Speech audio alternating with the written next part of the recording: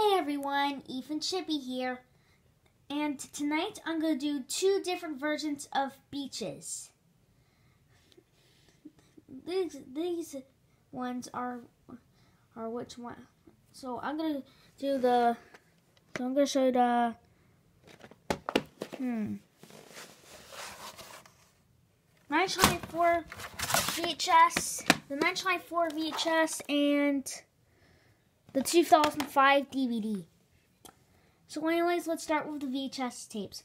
And by the way, these are these both are Grammys. So let's start with the VHS. Here it is. Features the voices of Bette Midler and Barbara Hershey. Also starring John Heard, Spalding Gray, James Read, and Lainie Kazan. Friends come and go, but there's always one you're stuck with for life. Front, sides, top, and the back. A bi-coastal crowd pleaser, pleaser, brightened by Betty Midler's sass and sweetened with her songs as Washington Post. Funny, touching, and consistently, consistently engaging, says the Hollywood Reporter. Rated PG-13 and it's 123 minutes. Here's the tape with the ink label, and the print date is April 1st, 1994. This tape is was printed on April Fool's Day that year in 1994. And here's the 2005 DVD.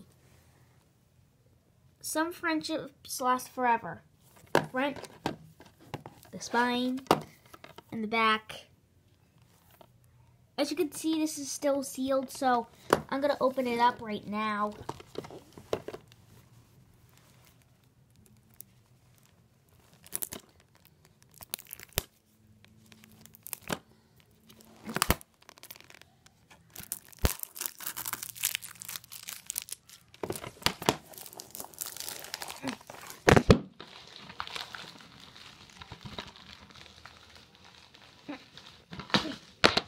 There we go.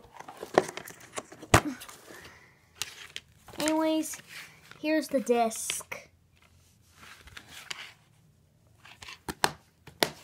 And that's it from two different versions of of beaches. I'll, I hope you liked it and see you on my childhood VHS collection part 3. Bye.